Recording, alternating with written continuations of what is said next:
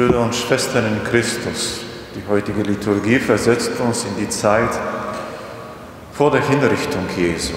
Also der einleitende Satz des heutigen Evangeliums erzählt davon, dass Judas, also beim letzten Abendmahl, hinausgegangen ist.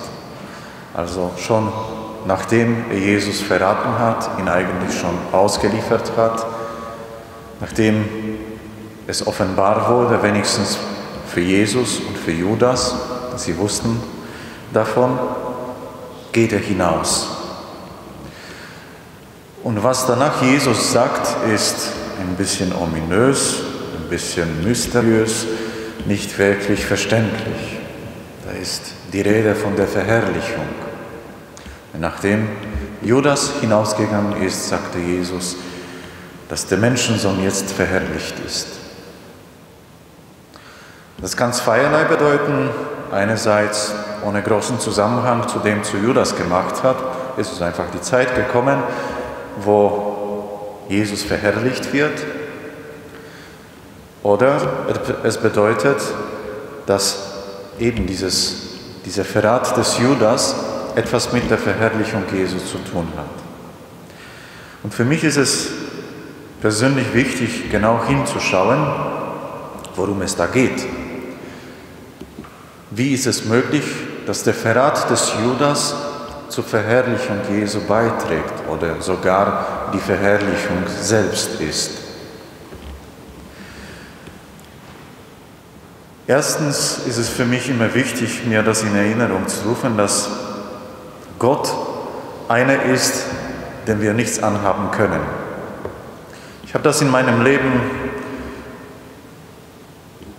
früher ein bisschen anders gesehen, dass ich Gott beeindrucken könnte durch das, was ich tue, was ich schaffe. Und irgendwann kommt der Zeitpunkt, wo man sich eingestehen muss, ja, das, ich kann Gott nicht beeindrucken.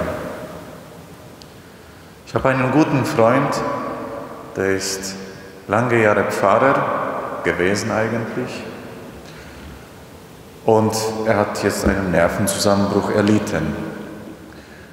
Aus einem Grund, weil er alles, weil er alles alleine machen wollte. Nicht, dass er seine Pfarrgemeinde nicht eingebunden hat, aber schlicht und einfach, ich glaube, dass in ihm dieses Vertrauen auf das Wirken Gottes ein bisschen zu klein war.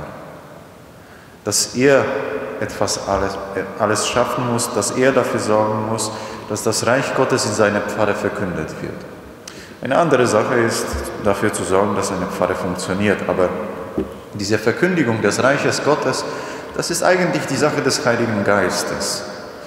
Wir sind manchmal nützliche Helfer, manchmal nicht so nützliche Helfer, aber so viel mit mir und dir hat das nichts zu tun. Wenn ich mich engagiere bei diesem Werk, nützt es vor allem mir und nicht wirklich den Menschen. Weil wenn etwas Gutes geschieht, ist es ein Werk Gottes. Also dessen muss man sich bewusst sein, wenn man dieses Evangelium liest, dass unser Tun ja Gott sozusagen ein bisschen kalt lässt. Das ist plump ausgedrückt, ausgedrückt und nicht wirklich theologisch korrekt, aber man kann es so auf den Punkt bringen. Nichts, was du tun kannst, könnte Gott beeindrucken. Und so gesehen ist dieser Verrat des Judas vor allem eine Katastrophe für ihn selbst, nicht für Jesus. Für Jesus war es ein freier Entschluss, dass er diesen Weg gegangen ist. Dieser Entschluss ist im Garten Gethsemane gefallen. Aber warum ist dann dieser Verrat des Judas eine Verherrlichung Gottes? Das ist eine gute Frage. Warum schreibt Johannes solche Worte? Dass eben durch diesen Verrat Jesus verherrlicht wird. Aus seinem einfachen Grund, den ich schon genannt habe, Jesus hat sich entschlossen, diesen Weg zu gehen. Und alles, was dazu beigetragen hat, dass er diesen Weg gehen konnte, ja, trägt der Verherrlichung des Sohnes Gottes bei. Ich habe gestern ein Märchen gehört, das möchte ich euch auch erzählen, weil das irgendwie passt zu diesem Evangelium. Es gab in einem Land einen König.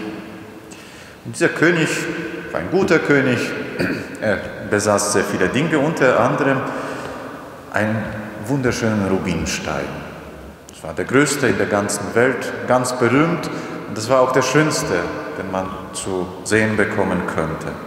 Und er zeigte ihn gerne auch vielen Leuten. Viele kamen aus weiten Ländern zu ihm, um sich diesen Stein anzuschauen. Und der König hatte auch solches Ritual entwickelt, dass er jeden Morgen, wenn er aufgestanden ist, nach der Morgentoilette, hat er Kaffee mitgenommen und ist zu diesem Rubinstein gekommen und gegrüßt und sich angeschaut und wollte einfach sich an seine Schönheit erfreuen. Eines Tages bemerkte er aber in der Früh, dass da was nicht stimmt.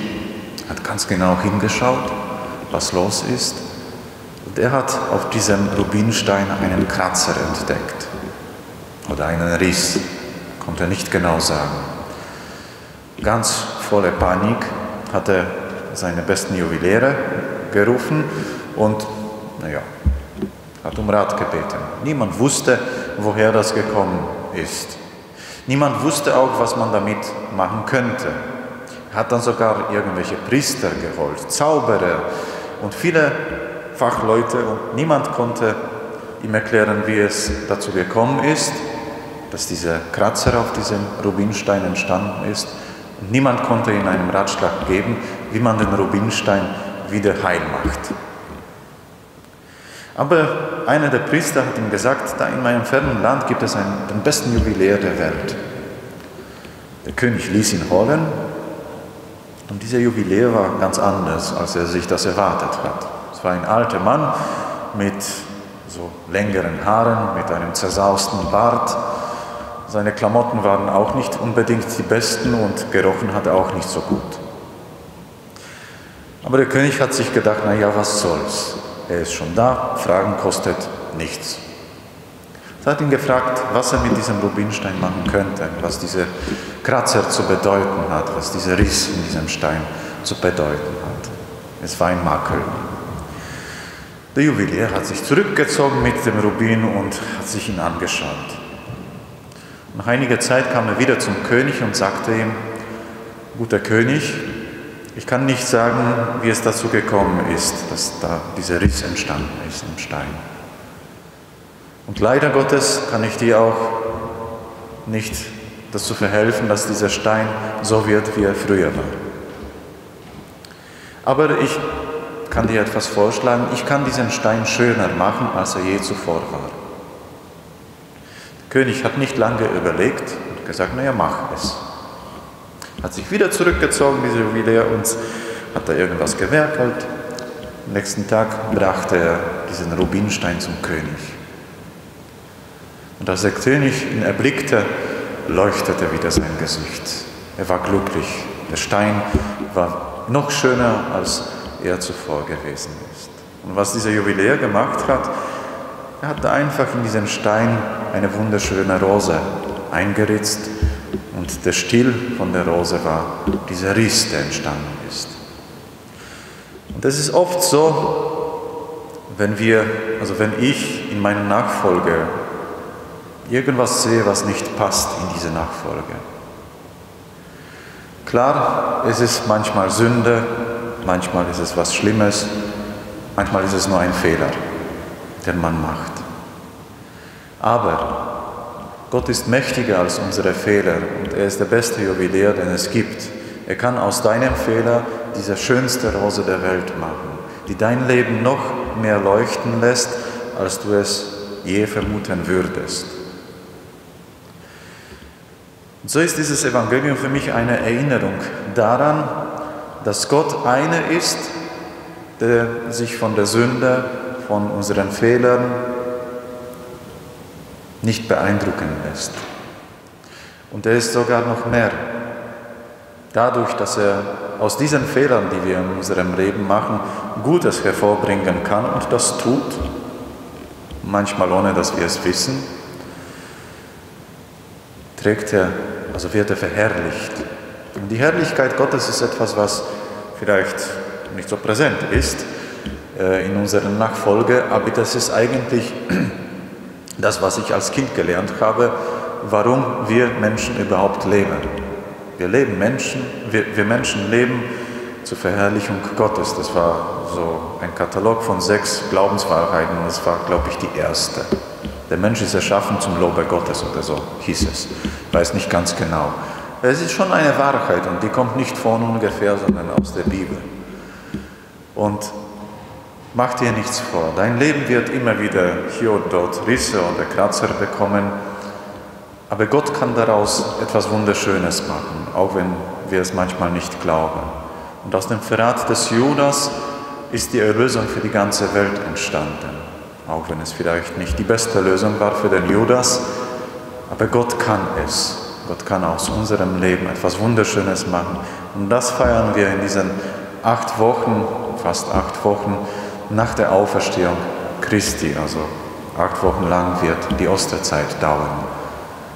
Und dazu möchte ich euch auch einladen, euch nicht davon beirren lassen, dass hier und dort in deinem Leben vielleicht nicht, etwas nicht funktioniert oder im Leben deiner Nachbarn oder in deiner Familie etwas falsch gelaufen ist.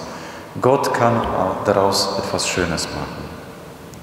Er ist mächtiger als unsere Sünden, er ist mächtiger als unsere Fehler.